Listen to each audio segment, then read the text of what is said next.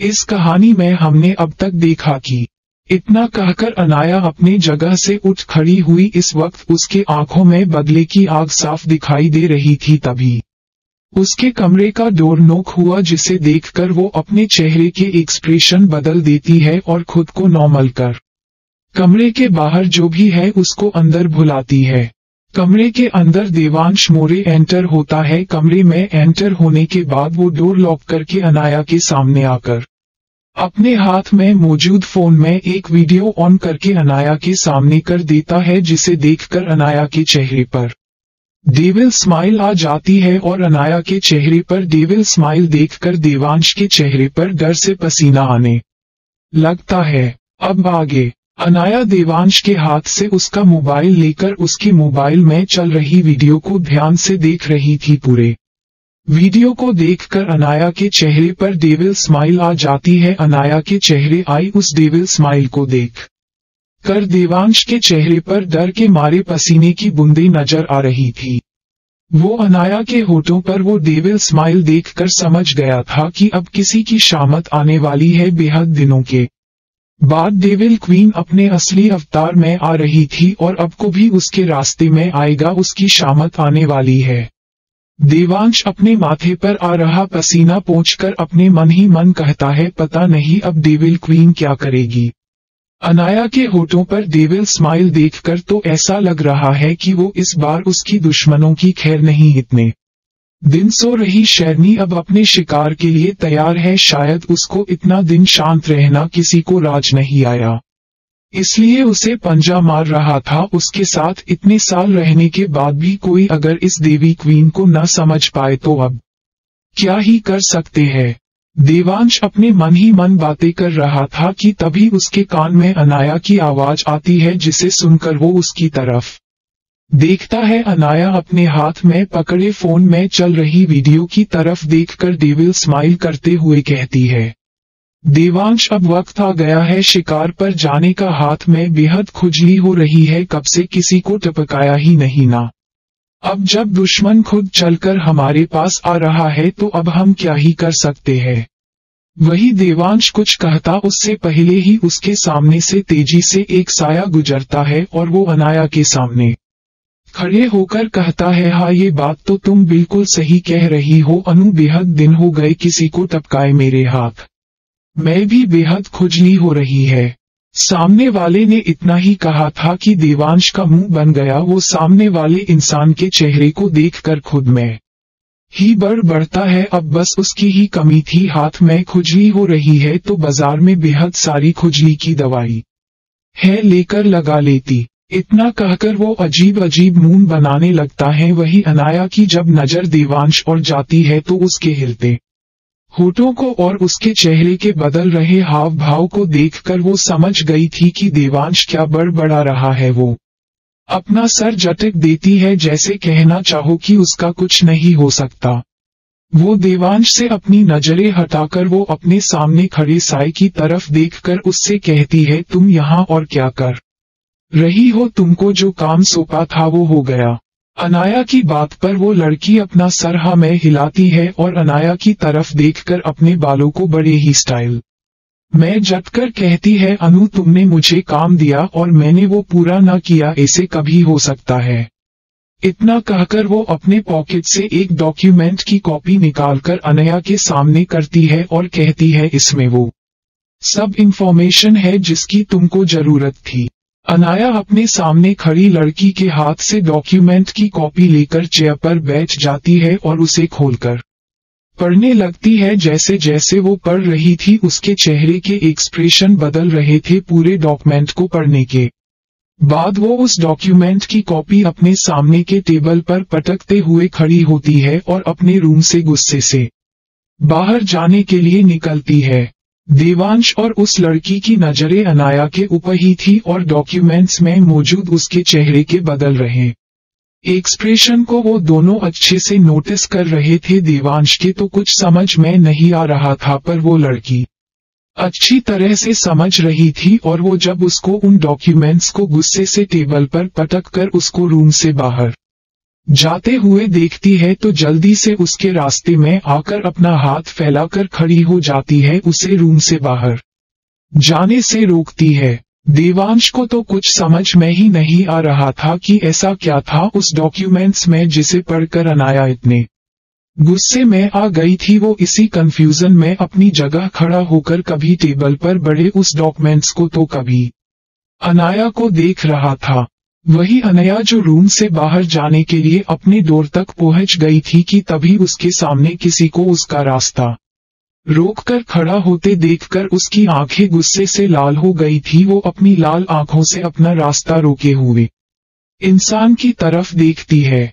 उसको देखकर वो अपनी लाल हो चुकी आँखें उसके ऊपर टिकाकर अपनी कोल्ड आवाज़ में उससे कहती है मुस्कान, सामने से हटो। मुस्कान वही लड़की है जिसने अनाया को वो डॉक्यूमेंट्स दिए थे जिसे पढ़कर ही वो इतने गुस्से में अपने रूम से बाहर जा रही थी और उसको रोकने के लिए मुस्कान उसके रास्ते में खड़ी थी। वो अपने चमकते दांतों को उसको देखा रही थी, पर जब उसकी नज़र उसके लाल आँखों और गई और उसकी वो कोल्ड आवाज़ सुनकर मुस्कान की रीत की हाड़ी तक कांपने लगी थी, उसके माथे पर ठंडा पड़ती आ गया था, वो अंदर से बेहद डर गई थी, अनाया के गुस्से से वो अच्छी तरह से वाकिफ थी, पर इस वक्त वो गुस्से में अनाया को कुछ भी गलत नहीं करने दे सकती, नहीं तो वो ही मुसीबत में पड़ सकती थी। इसलिए वो अनाया के बैग के लिए ही उसके सामने अपने डर को कभी करके उसके अपने सामने से हटने को कहने के बाद भी वो अपने जगह से एक कदम भी साइड नहीं हटती, अनाया जो पहले से गुस्सा थी और वो मुस्कान को अपने सामने से हटने को कहने के बाद भी अपने सामने हटता न देख वो सोनी गुस्से बाती नज़र उसके ऊपर डालकर अपनी तेज आवाज़ में उससे कहती है, मुस्कान, तुमने सुना नहीं, मैंने क्या कहा, रास्ते से हटो, मेरे अभी मेरा बिल्कुल भी मूड नहीं है तुम्हारी। बकवास सुनकर हटो रास्ते से। अनाया की गुस्से भरी आवाज़ सुनकर देवांश अपनी जगह से तेज़ी से टेबल पर पड़ा वो डॉक्यूमेंट्स पढ़ने लगता। है वही अनाया की गुस्से से भरी आवाज़ सुनकर पहले ही डरी हुई मुस्कान और डर रही थी, फिर भी वो उसके सामने से नहीं हटी अपने डर पर कभी करते हुए वो अनाया की तरफ़ देखकर अपने सीरियस फेस के साथ उससे कहती है, अनु तुम अभी गुस्से में हो जिससे तुम बिन कुछ सोचे वो करने जा रही हो, जिसके बाद तुम्हारी मुसीबतें और बढ़ेगी और मैं इसे होने नहीं दूँगी, मैं तुम्हारे रास्ते से नहीं हटने वाली, तुम इस रूम से बाहर नहीं जा सकती। हो, अभी इतना गुस्सा होने का सही टाइम नहीं है, शांत दिमाग से सोचो अनु। उसने इतना ही कहा था कि अनाया जो उसकी बातें ध्यान से सुन रही थी, उसकी आँखों में अभी भी गुस्सा था उसके। ऊपर मुस्कान की बातों का कोई असर ही नहीं हुआ उसके सामने तो बार बार उस डॉक्यूमेंट्स में जो था वही उसको अपने आँखों के सामने दिखाई दे रहा था जिससे उसका पहले से ज़्यादा बढ़ गया था, उसने गुस्से को कंट्रोल करने के लिए अपने हाथ की मुट्ठी कसकर बाँध दी थी जिससे उसके नाखून उसकी हथेली में चुभ रहे थे जिससे उसके हथेली में से खून निकलने लगा था। अनाया का गुस्सा वक्त के साथ बढ़ता ही जा रहा था, जिससे उसको अपने हथेली से निकल रहे खून की तरफ़ ध्यान ही नहीं गया। अनाया गुस्से में मुस्कान को अपने रास्ते से हटाकर डोर खोलने ही वाली थी कि कोई उसका हाथ पकड़कर उसको रोक देता है। खुद को फिर किसी के थरू रोकते देखकर अनाया अपनी लाल आँखों को कसकर बंद कर देती है और उस शख्स की तरफ़ मुड़ जाती है जिसने उसका हाथ पकड़ा था, वो बिना उसकी तरफ़ देखकर अपनी आवाज़ नॉर्मल करके उस से कहती है, मुस्कान, मैंने कहा, ना, मेरे रास्ते में आओ, क्या तुमने कसम खा रखी है कि तुम मेरी बात आजमान में ही नहीं वाली? वही अनाया इतना कहकर अपनी बंद आँखें खोलकर अपना हाथ सामने वाले से छुड़ाने ही वाली थी कि तभी उसकी नज़र सामने वाले इंसान की नजरे से जाकर मिल गई जिससे अनाया का गुस्सा पल भर में छू मंतर हो गया था। अनाया का गुस्सा अब शांत हो गया था, वो बस एक तक अपने सामने खड़े शख्स की आँखों में ही देख रही थी वही। मुस्कान जो अनाया के अपने सामने से हटने से एक तरफ़ गिर गई थी, वो अपनी जगह से उठकर अनाया को रोकने के लिए उसकी तरफ़ बढ़ ही रही थी, तभी उसकी नज़र अयान पर चली जाती है, जिसने अनाया को बाहर जाने से रोक लिया था। जिसे देखकर मुस्कान राहत की सांस लेती है और खुद से ही कहती है अच्छा हुआ अयान, सही टाइम पर आ गया, नहीं तो उस देविल को रोकना बेहद मुश्किल होने वाला था, इसे गुस्से में कुछ दिखाई नहीं देता, चाहे वो फिर गुस्से में खुद का ही नुकसान क्यों न कर ले। देवांश जब मुस्कान के द्वारा अनाया को दिए हुए डॉक्यूमेंट्स पढ़ता है तो उसके चेहरे पर भी गुस्सा आसानी से देखा जा सकता था, पर उसने गुस्से में अपना आपा नहीं खोला था। उसे अब समझ में आया कि मुस्कान क्या अनाया को रोक रही थी और वो अच्छे से जानता था। इस वक्त अनाया को बस एक ही शख्स रोक सकता है और वो और कोई नहीं, बल्कि अयान ही है। इसलिए वो जल्द से अयान को मैसेज करके अयाना के रूम में बुलाता है। देवांश का मैसेज पढ़कर अयान जल्द ही अयाना के रूम में उन दोनों के रूम में एंटर करने के लिए जो सीक्रेट डोर था उससे अंदर आता है, रूम में आते ही उसका ध्यान मुस्कान पर जाता है। अनाया को रोक रही थी, पर अनाया इस वक्त बेहद गुस्से में थी। वो बिना मुस्कान की बात सुने उसे अपने रास्ते से साइड करके डोर खोलकर बाहर जाने ही वाली थी कि देवांश के उसे रोकने को कहने पर वो जल्दी से आगे बढ़कर उसका हाथ पकड़कर उसको रूम से बाहर जाने से रोकता है। अयान अनाया का हाथ पकड़कर उसको सोफे पर बिठाकर खुद उसके पास बैठ जाता है। वो एक नज़र अनाया की तरफ़ देख। कर देवांश की तरफ़ देखता है तो देवांश जल्दी से अपने हाथ में मौजूद डॉक्यूमेंट्स उसके आगे करता है अयान। उस डॉक्यूमेंट को लेकर पढ़ने लगता है जैसे ही वो उसे पढ़ रहा था, वैसे वैसे उसके चेहरे के एक्सप्रेशन बदल रहे थे। अनाया का गुस्सा शांत करके अयान उसको अपने साथ कमरे में मौजूद सोफे पर बैठाता है, कर उससे कुछ दूरी पर। खड़े देवांश की तरफ़ देखता है, उसके अपनी तरफ़ देखता पाकर देवांश समझ जाता है कि वो क्या कहना चाहता है। देवांश अपने हाथ में पकड़ा डॉक्यूमेंट उसकी तरफ़ बढ़ा देता है। अयान देवांश से डॉक्यूमेंट्स लेकर पढ़ने लगता है, जैसे जैसे वो पेज पलट रहा था, वैसे वैसे उसके चेहरे के एक्सप्रेशन बदल जाते हैं। उन फॉक्यूमेंट्स में जो इन्फॉर्मेशन थी, उसे पढ़कर अयान अयाना का गुस्सा होना समझ सकता था। आखिर कोई भी उसकी जगह पर जो और उसे जब पता चले, वो जिस फैमिली को बचाने के लिए अपनी जान की बाजी लगा रही है उनको सेफ़ रखने के लिए उसने क्या क्या नहीं किया उसी फैमिली के कुछ लोग उसको मारने पर तुले। है उसे गद्दारी कर रहे हैं। अयान को भी इस बात पर बिल्कुल विश्वास नहीं हो रहा था पर जब से अनाया का एक्सीडेंट हुआ था तब से वो सारी फैमिली के एक्सप्रेशन उनकी हरकतें नोटिस कर रहा था जब से उसे मायरा के बारे में पता लगा था तब से और उसे भी अनाया के बड़ी मॉम और बड़े पापा पर शक होने लगा था और आज उसका शक यकीन में बदल गया था अपने सामने के डॉक्यूमेंट्स में मौजूद इंफॉर्मेशन विथ प्रूफ देखकर। अयाना इस वक्त अयान की तरफ़ ही देख रही थी, वो बिना देवांश और मुस्कान के उसके सामने होने की परवाह किए। किसी छोटे बच्चे की तरह अयान की गोद में जाकर बैठ जाती है और अपना सर उसके सीने में रखकर उसका टाइट हग करती है और उस कहती है, आयु आपने देखा न बड़ी मॉम, ऐसा कैसे कर सकती है? और वो ही नहीं, बड़े पापा भी उनके साथ है। क्यों आयु? क्यों? इतना कहकर वो अयान के सिने में लगकर ही रोने लगती है। अयान उसका कुछ नहीं कहता, उसका अपने बाहों में अच्छे से एडजस्ट कर उसके बालों में हाथ फिराने लगता है और एक हाथ उसके पीठ की सहला रहा था। अयान इस वक्त अयाना के अंदर जो भी गुस्सा है वो सारा बाहर निकलना चाहता था, जिसके बाद वो शांत मन से फिर से गलत के खिलाफ अपने दुश्मनों से लड़ सके। वही मुस्कान और देवांश की भी आँखें अनाया को ऐसे देखकर नाम हो गई थी, वो दोनों ही हर पल उसके साथ होते थे। किसी साय की तरह वो दोनों कभी किसी के सामने नहीं आए थे, अंधेरे मई रहकर ही उसकी प्रोटेक्ट कर रहे थे और वो दोनों अच्छे से जानते थे अनाया ने अपने फैमिली के लिए क्या क्या किया था और उसने तो अपने बड़ी मॉम को माँ का दर्जा दिया था। वही उसके पीठ में खंजर खोफ रही थी। उसको फैमिली ही उसके खिलाफ षडयंत्र कर रही थी। जिसे दुश्मनों से बचाने के लिए उसने क्या क्या किया था।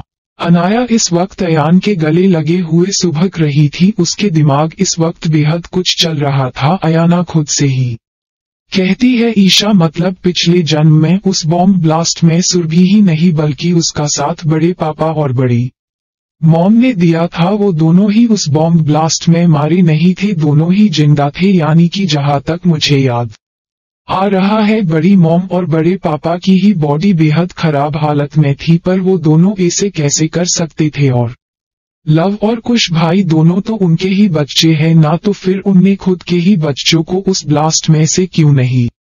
बचाया क्या कुछ ऐसा है को मुझसे छुट रहा है? मुझे पहले तो सिया मित्तल की सारी जानकारी निकलवानी पड़ेगी, उसके बाद ही आगे क्या करना है? उस बारे में सोचना पड़ेगा। वैसे भी अब फाइव दिन की बात है, उसके बाद तो हम इंडिया जाने वाले हैं। वो ये सब सोच ही रही थी कि तभी अयान की आवाज़ से वो अपने सोच से बाहर आकर उसकी तरफ़ देखती है को की बड़े। प्यार से उसके बालों को सहलाते हुए उससे कह रहा था, अनु देखो अब जब सारी सच्चाई तुम्हारे सामने है तो अब। तुम जो भी निर्णय लेना चाहती हो वो भावना वो मैं बहकर मत लेना, हा वो तुम्हारी बड़ी मॉम और बड़े पापा है। पर वो दोनों ही गलत है, वो दोनों तुमको और तुम्हारे परिवार को धोखा दे रहे हैं और वैसे भी अंकल के ऊपर। पहले जो जानलेवा हमला हुआ था, मुझे लगता है उसमें भी देवराज मित्तल का हाथ है, वो जैसे दिखते हैं वैसे है।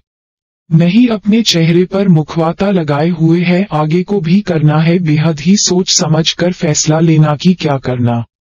है, मैं हर समय तुम्हारे साथ रहूँगा, हरदम तुम्हारी परछाई बनके। ये सब अयान उसके आँखों में देखकर कह रहा था, दोनों ही एक दूसरे के आँखों में देख रहे थे, जहाँ पर बस प्यार ही प्यार था, बाकी किसी के लिए जगह ही नहीं थी। अयान अयाना के माथे पर किस करता है, फिर उसके चेहरे को साफ़ करके अपने सामने खड़े देवांश और मुस्कान को देखता है, जो उनकी तरफ़ ही देख रहे थे, अयान के उनके तरफ़ देखने से। दोनों ही उसको अपनी बत्तीसी दिखा देते हैं। उनको ऐसे देख अयान अपनी कोल्ड आवाज़ में कहता है, अब जब तुम दोनों का कोलगेट की एडवर्टाइजमेंट करके जो गया, हो तो काम की बात करे।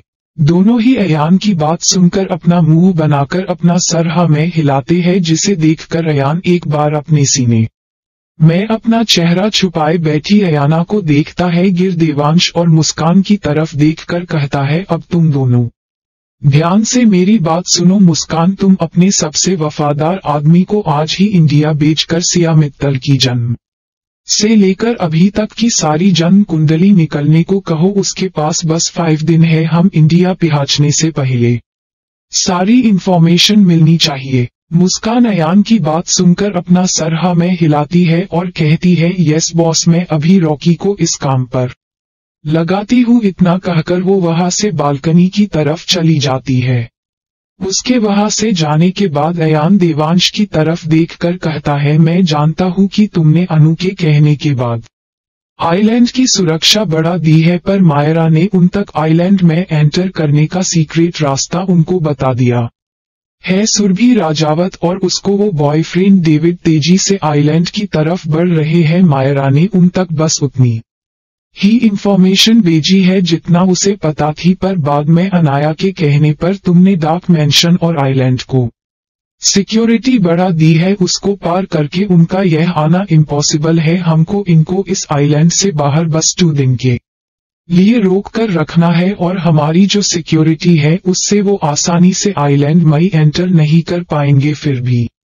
तुम उनकी हर एक हरकत पर नज़र रखना और इंडिया जाने की सारी तैयारी कर लेना। इंडिया में जाकर हमारी सिक्योरिटी की भी। ऐसे ही देवांश को कुछ इंस्ट्रक्शन देने के बाद देवांश वहाँ से चला जाता है, उसके जाते ही मुस्कान अयान के सामने आकर खड़ी हो जाती है। उसे देखकर अयान बिना किसी एक्सप्रेशन अपने प्लेन चेहरे के साथ उससे कहता है फाइव दिन जब तक हम इंडिया नहीं जाते, तब तक इसी मेंशन में रहकर तुमको सिया मित्तल, देवराज मित्तल और मायरा पर नज़र रखनी है, उनकी पल पल की खबर मुझे चाहिए। अयान की बात सुनकर मुस्कान बड़ी ही स्टाइल में अपने बालों को जटित कर अयान से कहती है यस बॉस ये तो मेरे बाएँ हाथ का काम है, आपको उन तीनों की पल पल की खबर मिल जाएगी।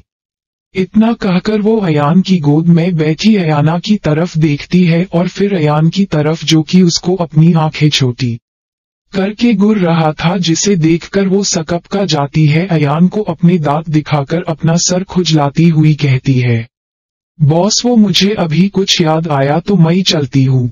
इतना कहकर वो अनाया के रूम से एसी बागी की जैसे उसके पीछे कोई पागल कुत्ता पड़ा हो, उसको ऐसे भागते देख अयान के चेहरे और छोटी सी स्माइल आ जाती है। मुस्कान अयान के रूम से बाहर जाकर अपने दिल पर हाथ रख कर कहती है, आज तो बाल बाल बचे, तू भी ना मुस्कान। क्या ज़रूरत थी तुझको शेर के मुँह में हाथ डालने की? वो तो अच्छा हुआ तुम्हारी मुँह से कुछ पवित्र वाणी। बाहर नहीं आई, नहीं तो आज तो तुम्हारी खेर नहीं थी। वो ये सब खुद से ही कह रही थी, तभी उसको सिया मित्तल अपने रूम से छुपके से निकलकर कहीं जाती हुई दिखी। जिसे देखकर अभी जो हुआ सब भूलकर मुस्कान अपने काम पर लग गई, वो भी किसी ट्रेन जासूस की तरह बिना सिया की को पता चले उनका पीछा करने लगी। वही दूसरी तरफ़ अनाया के कमरे में, अनाया अभी भी अयान की गोद में, उसके सीने में अपना सर रखे हुए बैठी थी।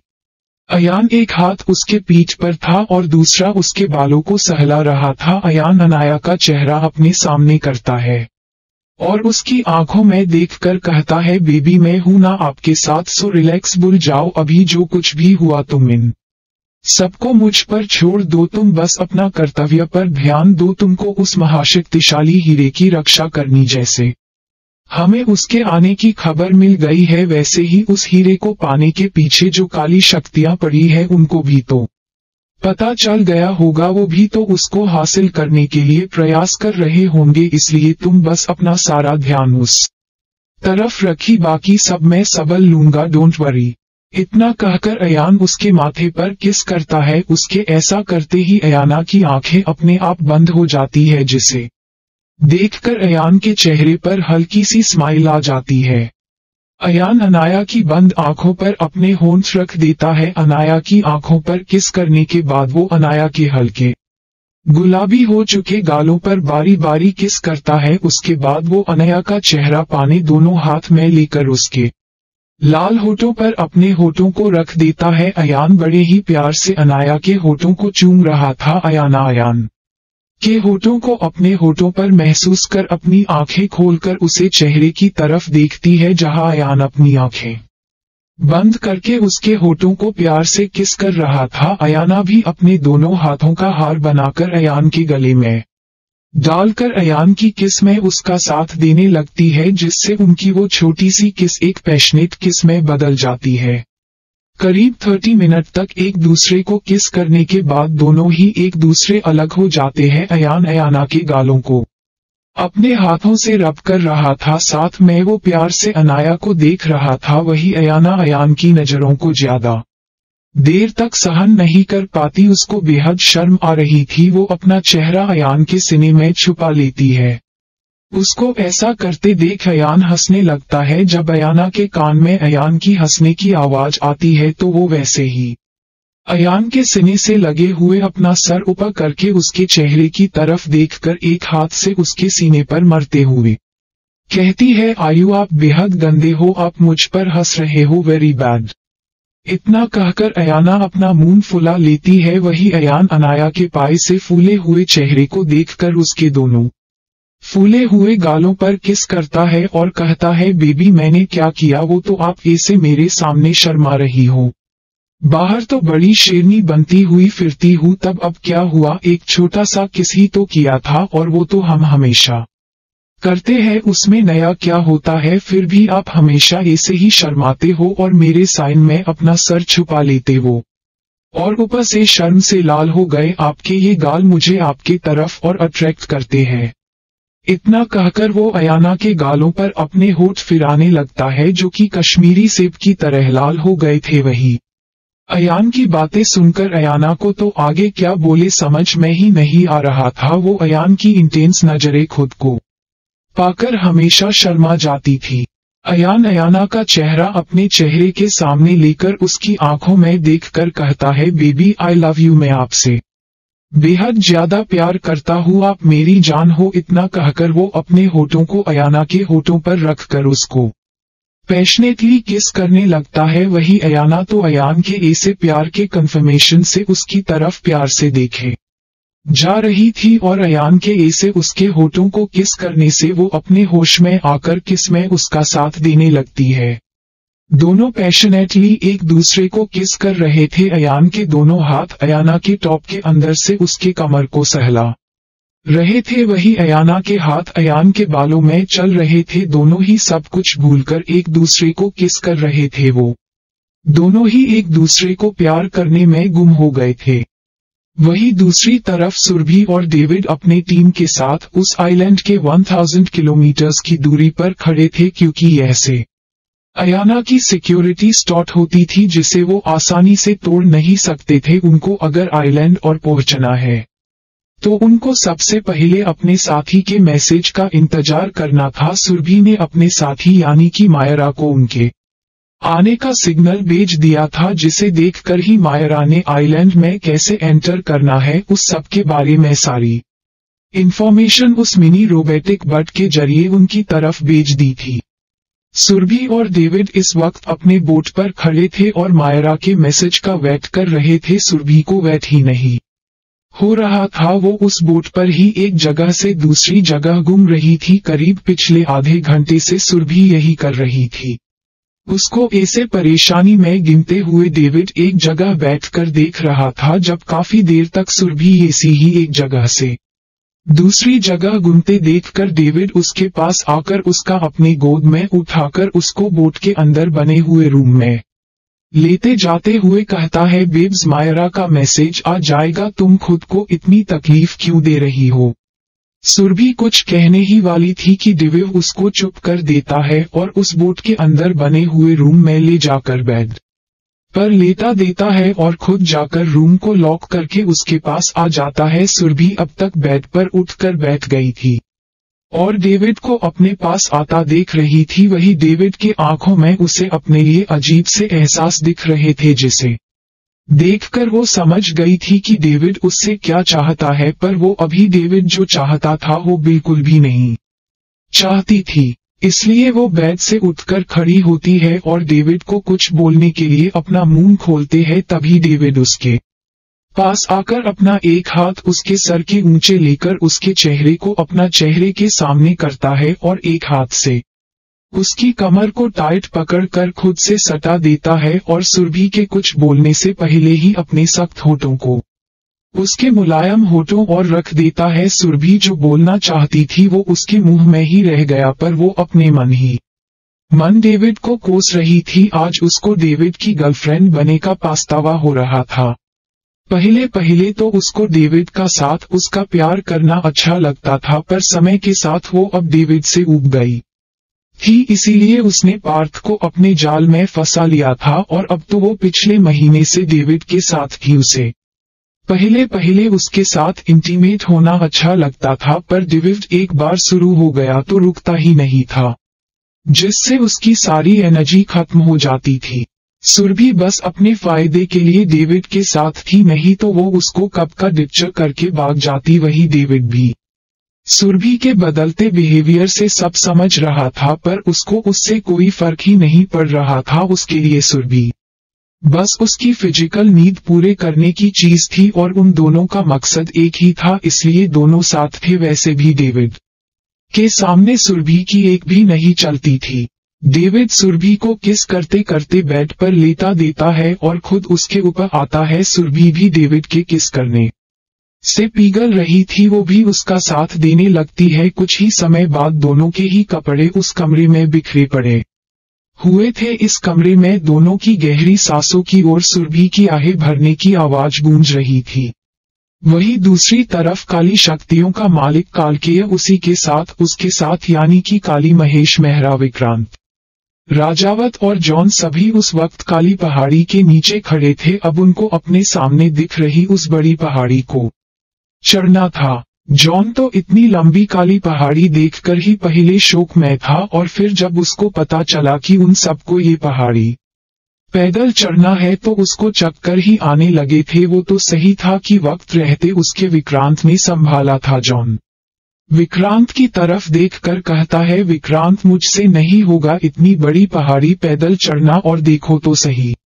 सारी पहाड़ी ही काली है, रहा पर दिख रहा हर एक पेड़ का कलर भी काला है और वो देखो वो कितना अजीब सा पक्षी है जो कि पूरा काला है, पृथ्वी पर तो बस कुएँ का कलर ही काला होता है और यह पर तो देखो सभी काले कलर का है, देखकर हो डर लग रहा है।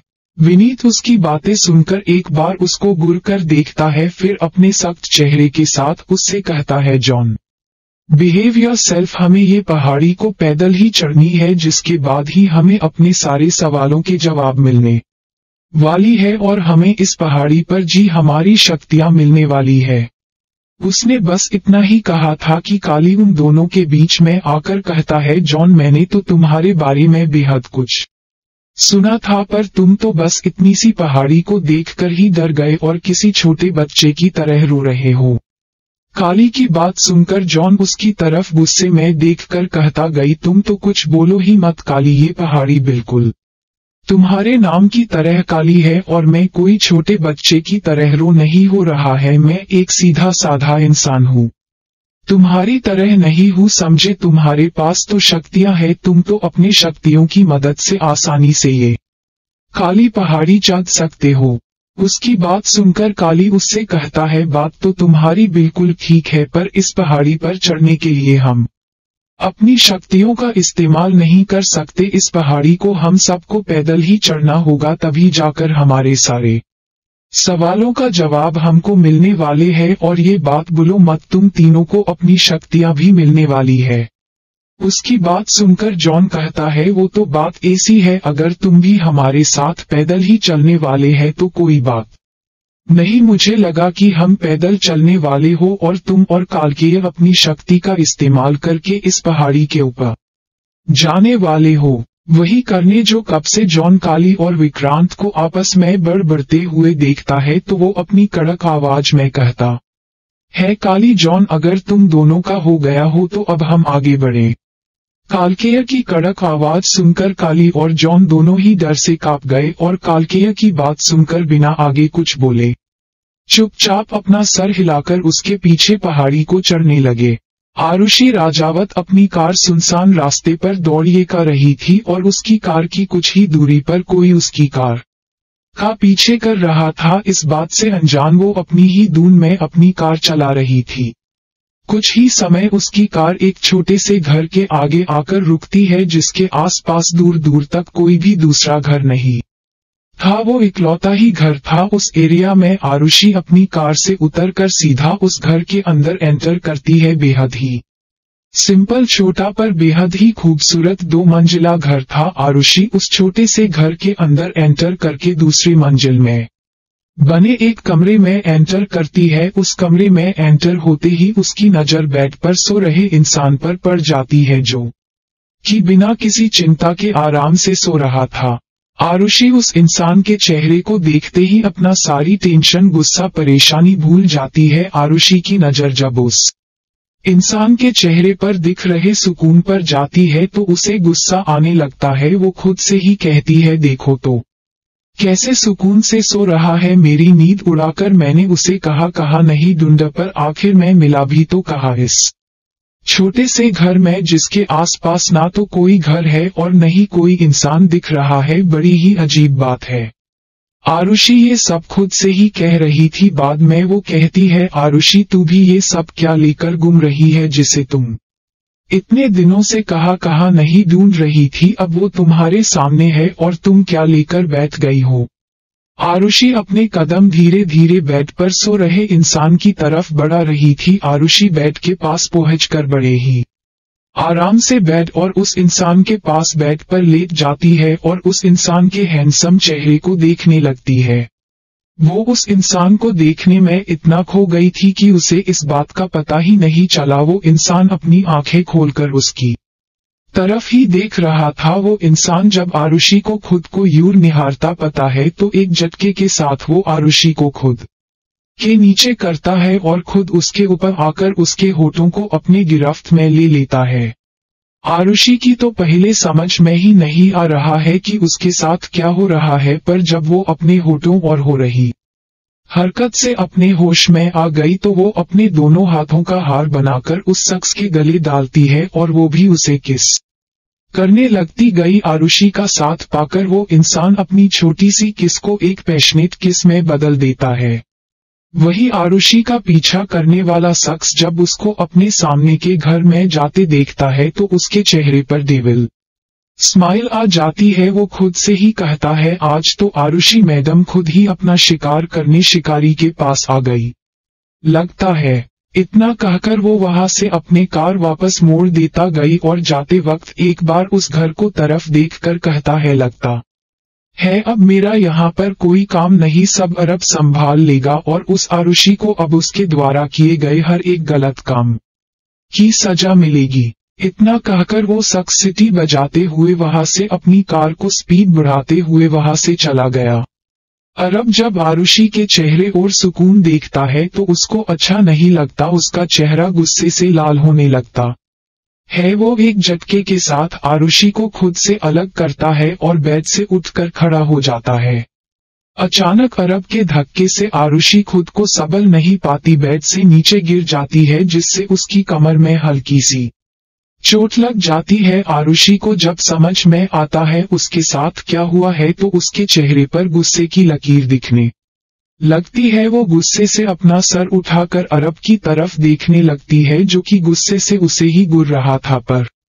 पता नहीं अरब के चेहरे पर ऐसा क्या था जिसे देखकर आरुषि का गुस्सा पल में गायब हो जाता है। वो उठकर अरब की तरफ़ देखकर कहती है, तुमने मुझे धक्का क्यों दिया और तुम इतने गुस्से में क्या लग रहे हो? क्या हुआ? आरुषि की बात सुनकर अरब उसके चेहरे को देखकर कहता है, तुमको जानना है ना मैं इतने में गुस्से में क्यों हूँ? आरुषि अरब के करीब आकर उसके चेहरे को अपने हाथों में लेकर कहती है, हम मुझे जानना है कि तुम इतने गुस्से में क्यों हो? उसकी बात पर आयुष तंज बरी हँसी हँसते हुए आरुषि का हाथ अपने चेहरे से दूर जटक कर कहता है, मेरी गुस्से में होने बजे तुम हो और तुम्हारी हिम्मत कैसी हुई मुझे चुने की दूर रहो मुझसे। उसकी बात सुनकर अब आरुषि को भी गुस्सा आ गया। वो गुस्से में अरब का कॉलर पकड़कर उसका चेहरा अपने सामने करते हुए कहता है, क्या कहा तुमने? मैं तुम्हारे गुस्से की वजह हूँ और क्या मैंने तुमको छुआ क्या? और तुम मुझे खुद से दूर होने को कह रहे हो? ये कभी नहीं होगा। क्या तुम भूल गए उस रात का? हाँ अब तुम सिर्फ़ और सिर्फ़ मेरे हो सुना तुमने यू आर माइन। उसकी बात पर अरब खुद का कॉलर उसके हाथ से छुड़ाते हुए ज़ोर ज़ोर से हंसने लगता है वो आरुषि की तरफ़ देखकर। अपनी हँसी कंट्रोल करते हुए कहता है, मैं तुम्हारा हूँ, ये कौन सी गलत फहमी पाल की है तुमने और क्या कह रही? थी तुम वो रात भूल गए, क्या कौन सी रात? हा, एक मिनट एक मिनट, तुम तुम्हारे बर्थडे वाली रात के बारे में तो नहीं कह रही हो या फिर उस दिन क्लब वाली रात हा। आरुषि को अरब किस बात पर हंस रहा है समझ में नहीं आ रहा था, उसको अब गुस्सा आने लगता है, वो गुस्से में कहती। है हाँ मैं उसी रात के बारे में पूछ रही हूँ, तुमने मेरा फ़ायदा उठाया है और अब तुम यू पलट नहीं सकते अब से। तुम मेरे हो। आरुषि का खुद को बार बार उसका कहने से अरब को गुस्सा आ जाता है, वो आरुषि का गला पकड़कर उसको उपकर देता है और अपनी लाल आँखों के साथ इसके आँखों में देखकर कहता है, मैं तुम्हारा नहीं हूँ, समझी मैं बस अपनी रूही का हूँ और मरते दम तक उसी का रहूँगा और तुमने ये क्या लगा रखा है, मैंने तुम्हारा फ़ायदा उठाया है मैं।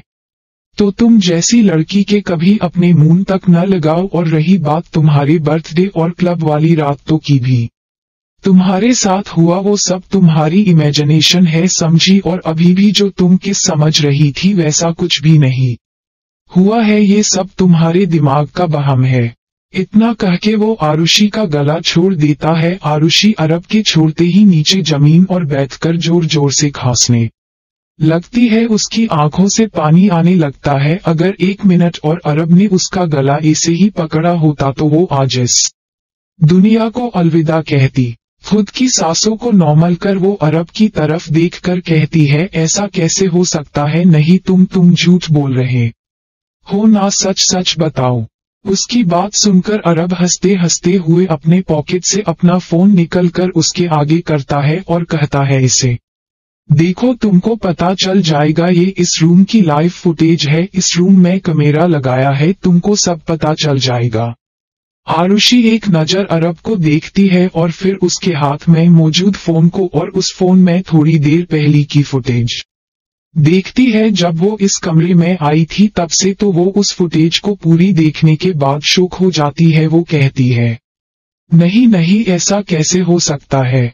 अरब उसके हाथ से फ़ोन निकलकर उसमें और दो सीसीटीवी फुटेज प्ले करता है, जिसे देखने के बाद तो आरोही के होश में उड़ जाते हैं, वो अपनी जगह पर जम जाती है, उसे ऐसा देखकर अरब उससे कुछ दूरी पर जाकर सोफे पर बैठ जाता है और उसको इस तरह शोक देखकर उसके चेहरे पर स्माइल आती है, वो खुद से ही कहता है, आतिशी राजावत ये। तो बस शुरुआत है, अभी तो तुमको और भी बेहद कुछ देखना बाकी है, मैंने तुमको पागल खाने ना भेजा तो मेरा नाम भी अरब नहीं, तुम्हारी वजह से जो हालात आज मेरी रूही की है, उससे भी भयानक हालत तुम्हारी कर दूँगा अभी तो। शुरुआत हुई है। वही दूसरी तरफ़ अयान ने अनाया को सबल लिया था और दोनों ने ही मिलकर सुरभि और डेविड को मज़ा सिखाने का बेहद ही सॉलिड प्लान बनाया था और अब बेहद ही जल्द उनके लाइफ से मायरा नाम का दुश्मन भी जाने वाला था।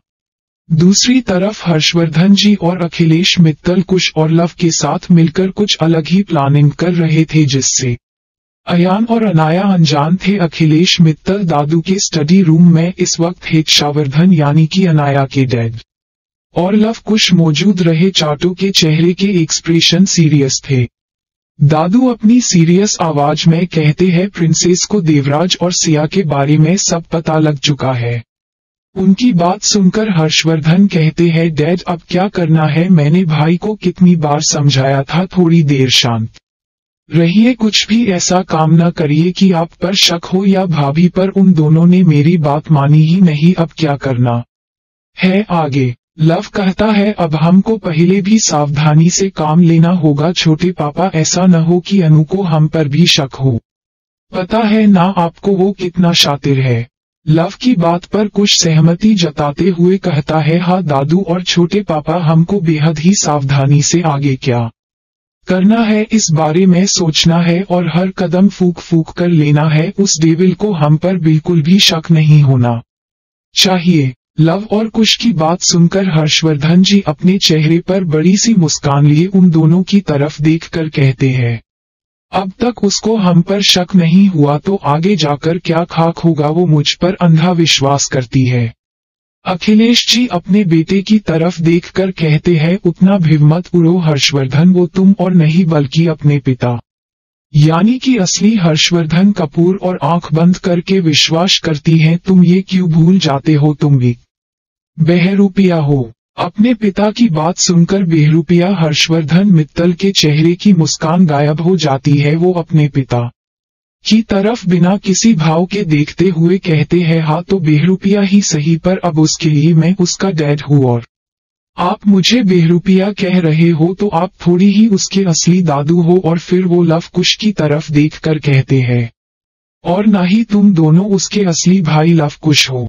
उनकी बात पर उन सभी के चेहरे पर मक्कारी बरी स्माइल आ जाती है। लव कहता है हाँ माना कि हम उसके असली भाई नहीं है, पर ये जो हमारे चेहरे पर मास्क लगाया है, ना वो हमको बिल्कुल उसके भाई ही बनाते हैं। उसकी बात सुनकर कुछ कहता है हाँ बात तो सही कही डैड लव ने, पर मुझे एक बार समझ नहीं आता उस अनाया मित्तल कि ऐसा इतनी शक्तियाँ हैं, फिर उसको इस बारे में कैसे पता नहीं चला कि हम उसके अपने ना ही, बल्कि अपनी के चेहरे में उसके दुश्मन है। उसकी बात पर अखिलेश मित्तल कहते हैं, उसकी शक्तियाँ अभी भी इतनी नहीं है कि वो हूँ, पहचान सके उसके लिए हम ही उसका परिवार है, इसलिए उसका शक कभी भी हम और नहीं जाएगा, पर उस नालायक देवराज मित्तल की एक गलती से अनाया मित्तल को उसके बारे में पता लग गया है, अब कुछ भी हो हमें जल्द से जल्द उस देवराज मित्तल और सिया को अपने रास्ते से हटाना होगा, नहीं तो कहीं हमारे लिए ही ये दोनों कोई मुसीबत न बन जाए। लव अपने दादू की बात से सहमत होता हुए कहता है हाँ दादू, आप बिल्कुल सही कह रहे हो, वैसे भी मुझे वो दोनों बेवकूफ़ बिल्कुल भी अपने मॉम डैड के रूप में पसंद नहीं है। मैंने आपको पहले ही कहा था कि उन दोनों को मेरे मॉम डैड मत बनाओ, वो दोनों दिखने से ही कितने बेवकूफ़ दिख रहे थे और अब पता नहीं उन दोनों ने किसी इन्फॉर्म कर दिया है। मित्तल फैमिली इस वक्त कहा और है इस बारे में। हर्षवर्धन लव की बात पर कहते हैं, लव तुम उस बात को छोड़ो, वो कोई तुम्हारे असली के मॉम डैड नहीं है। अब इस सारी बातों को छोड़ो और हमारे असली मिशन पर कंसेंट्रेट करते हैं, जिसके लिए हमने पूरी मित्तल फैमिली को कैद करके हम उनके जगह उनका असली रूप लेकर यह पर आए हैं। हर्षवर्धन की बात सुनकर सभी को अपना असली मिशन याद आया है और वो चारों की आगे क्या करना है उस बारे में डिस्कशन करने लगते हैं। वही दूसरी तरफ़ इस सबसे अनजान अनाया इस वक्त बड़े ही सुकून से अयान के बाहों में सो रही थी अयान जो कि अयाना के बालों को सहला रहा था, उसके आँखों में दूर दूर तक नींद का कतरा भी नहीं था, वो अयाना के चेहरे की तरफ़ देखता है, जिसमें सुकून नज़र आ रहा था, जिसे देखकर उसके चेहरे पर भी हल्की स्माइल आ जाती है, वो उसके प्यारे से चेहरे को निहारते हुए कहता है, बेबी, मैं आपको कुछ नहीं होने दूँगा, मैं तुम और आँच तक नहीं आने दूँगा, बेबी, तुमको पता है, मुझे न तुम्हारी पूरी फैमिली का बिहेवियर कुछ अजीब सा लगता है। जब से हम ये पर इस आइलैंड और आए हैं, तब से मुझे दादू नहीं वो। पहले वाले दादू लगते हैं और नहीं हर्षवर्धन अंकल, वो पहले वाले हर्षवर्धन अंकल। अयान ये सब अयाना के चेहरे की तरफ़ देखते हुए के रहा था, जो कि उसकी कुछ बात सुन ही नहीं रही थी और नहीं सुन सकती थी, क्योंकि वो अयान के बाहों में सुकून से गहरी नींद में चली गई थी। अयान अयाना के माथे पर किस करके उसके बालों को सहलाते हुए कहता गई, बेबी, तुम बिल्कुल भी चिंता मत करो। मैं तुमको कुछ होने नहीं दूँगा। सबसे पहले मुझे दादू, अंकल और लव कुश के बारे में पता लगाना होगा। इतना कहकर अयान अपना फ़ोन निकलकर अपने खास आदमी को मैसेज कर देता है और फिर अपना फ़ोन साइड में रखकर कहता गई, अब बेहद ही जल्द ही जो भी है, हो सामने आएगा कि आखिर मेरा शक सही है या गलत। वही दूसरी तरफ़ देवांश से इंडिया जाने की ओर वह और मित्तल परिवार और खास करके अनाया की सेफ्टी की पूरी तैयारी कर ली थी। वही मुस्कान इस वक्त आइलैंड के बाहर कुछ ही दूसरी पर अपनी स्पेशल बोट में थी। वो वहाँ से सुरभि और डेविड पर नज़र रख रही थी। जब काफ़ी देर तक उनकी तरफ़ से कुछ हलचल नहीं होती, उनकी बोट को एक ही जगह पर टिका हुआ देखकर सुरभि अपनी दूरबीन निकलकर अपने सामने कुछ ही दूरी और खड़ी बोट को अच्छी तरह से स्कैन करने लगती है। बोट पर उस वक्त कितने आदमी है, उनके पास कौन कौन से हथियार है? वही इस वक्त बोट के अंदर का माहौल कुछ और ही था। डेविड अपने सामने खड़े आदमी पर चिल्ला रहा था और उसके पास मैं ही सुरभि खड़ी थी जो कि दिखने से ही बेहद थकी हुई नज़र आ रही थी। डेविड अपने सामने खड़े अपने आदमी पर चिल्लाए जा रहा था। जॉन कहता है, तुम में जरा भी अकल नाम की चीज़ नहीं है। क्या तुमसे वो छोटा सा गैजेट जैसा टूट सकता है? उसमें वो सारी जानकारी थी जिससे हम आसानी से उस आइलैंड में एंटर कर सकते हैं। ऊपर से अब हम उस मायरा से कोई कांटेक्ट भी नहीं कर सकते हैं, क्योंकि जिससे हम उससे कांटेक्ट कर रहे थे, वो तो तुमने तोड़ दिया। अब क्या करेंगे? डिविव्ड इस वक्त बेहद गुस्से में था। वो गुस्से में अपने सामने खड़े आदमी पर चिलते हुए कहता है, अब ये पर। खड़े क्यों हो? चले जाओ, ये से मुझे अपना ये सड़ा हुआ मुँह फिर मत दिखाना निकलो, ये से नहीं तो अभी देते। हाथों से बेमौत मरोगे। डेविड से के गुस्से से वो गार्ड इतना डर गया था कि वो डेविड के वहाँ से जाने को कहते हैं, वहाँ से चला गया।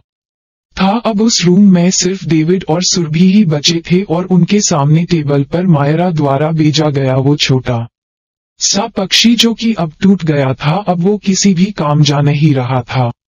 सुरभि उस गैजेट को अपने हाथ में लेकर कहती है डेविड क्या ये अब हमारे किसी भी काम जा नहीं रहा?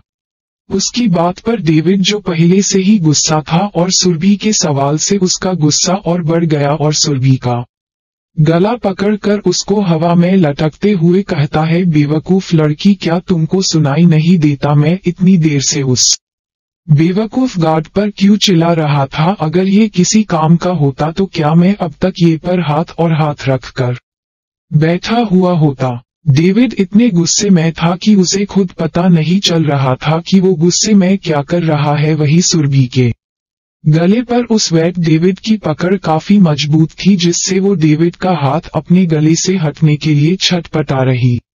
थी वो डेविड को खुद को छोड़ने को कह रही थी पर डेविड के ऊपर कौन सा भूत सवार था कि उसे कुछ सुनाई ही नहीं दे रहा था। अब जब सुरभि को सांस लेने में दिक्कत होने लगी थी, उसे ऐसा लग रहा था, अब वो ज़िंदा नहीं रहेगी।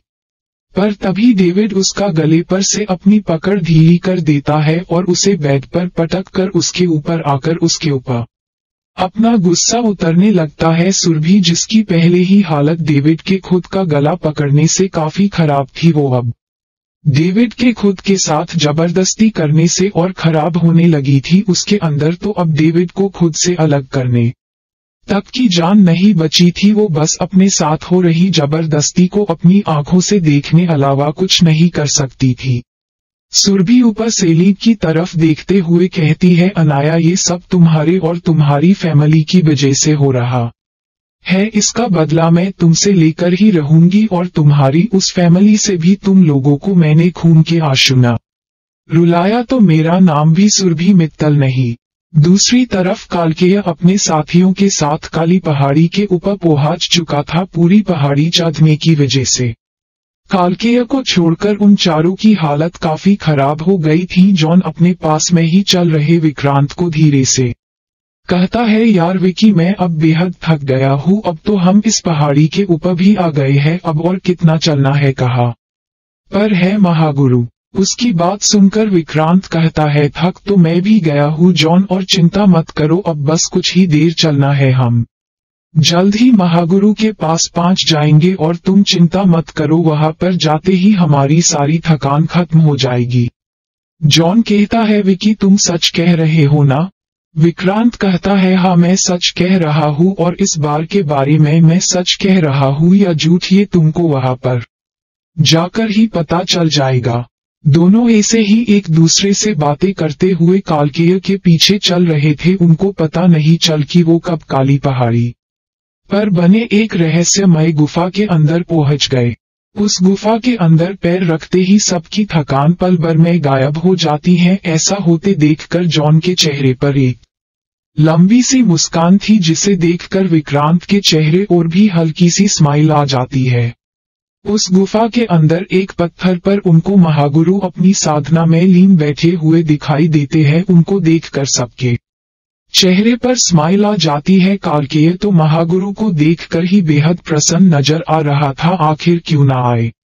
उसके सारे सवालों के जवाब जो उसको आज मिलने वाले थे, जिससे वो एक कदम और उस दिव्य तेजस्वी महाशक्ति शाली हीरे को हासिल करने पे पास आ जाएगा। तो आगे क्या होने वाला है? आपका क्या कहना है? कमेंट करके ज़रूर शेयर करें। सो so, अभी कहानी जारी रहेगी। So don't forget to share your review and comment your best part of an story. और अगर आपने अभी तक हम इस वीडियो को लाइक करें। हमारे चैनल को सब्सक्राइब करें। बेल आइकन ज़रूर प्रेस करें। हमारी न्यू वीडियो सबसे पहले देखने के लिए सब्सक्राइब करने के बाद ना घंटी बजा देना ताकि जब भी मैं कोई न्यू वीडियो अपलोड करूँ तो तुम्हारे फ़ोन की घंटी भी बजे।